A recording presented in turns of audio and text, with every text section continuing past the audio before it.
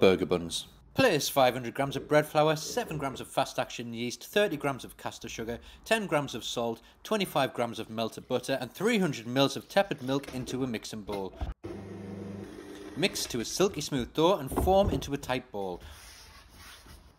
Place back into the mixing bowl, cover with a damp cloth and prove in a warm place for one hour. After one hour, turn the dough out onto a bench and punch out the air. Divide into six equal sized pieces and roll into balls. Roll each ball to 1.5 centimeters in thickness. Place onto a lined baking tray, cover with a damp cloth and prove again for 30 minutes. Brush the buns with beaten egg and sprinkle with sesame seeds. Bake at 180 degrees Celsius for 20 to 25 minutes or until golden in colour.